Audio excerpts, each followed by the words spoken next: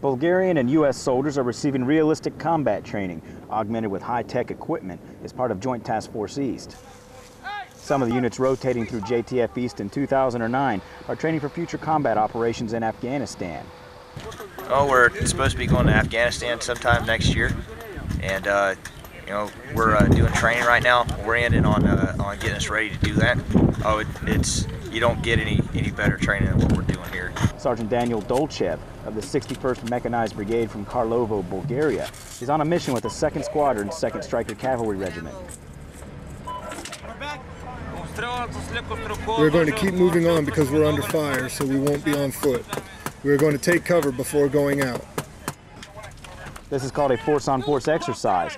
Two teams, each made up of combined U.S.-Bulgarian forces, will start out on opposite sides of the training area, and the first to arrive in the middle of the battlefield will take control of a tower and defend it from the opposing team. Is this beginning to sound a lot like a video game? It's closer to a game than you might think. Running behind the scenes is a system known as DISE, the Deployable Instrumentation System Europe, and it's tracking the actions of every participant on the battlefield. Each soldier and vehicle is tracked by a GPS device. Blue are U.S. forces, green are Bulgarian troops, and red is the enemy. Each weapon fires a laser which triggers sensors on vests or vehicles. The results are relayed to a computer network that tracks injuries and deaths. It then sends instant feedback to the soldiers through a speaker on their vests. Staff Sergeant Ramos from the Joint Multinational Training Command based in Grafenwehr, Germany, operates the DISE system from a remote vehicle. He explains that DISE simulates a variety of weapons in battlefield conditions. All right, the hand grenade is just like a real hand grenade. It's 10 kill, uh, 10 meter kill radius. You pull the pin, let the clip go. If you're in the area, the vest will let you know that explosion. Wounded right arm. If it's you're wounded, you're dead, or what injuries you have on the battlefield. Back in the scenario, the Stryker's crew has taken casualties. If they aren't treated quickly, then they will register as dead and their weapons will be disabled.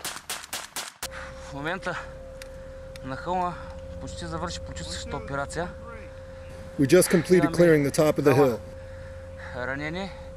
We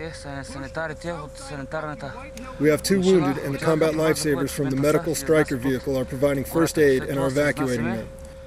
Next, we are mounting on the combat vehicles and continuing to the village.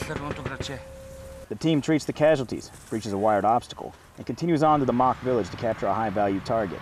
After the battle, leaders and soldiers can review the recorded scenario at any speed, from a bird's-eye view or from the perspective of an individual soldier. This is the third time DISE has been used as part of JTFE in Bulgaria. The DISE system has been in use by U.S. Army Europe since 2002. It is developed by Saab Technologies from Sweden.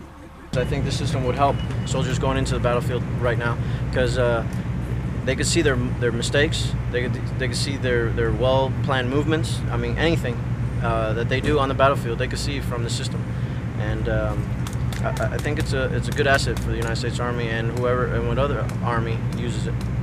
JTF East is an annual exercise that builds professional partnerships and military interoperability between the U.S. and partner nations Bulgaria and Romania.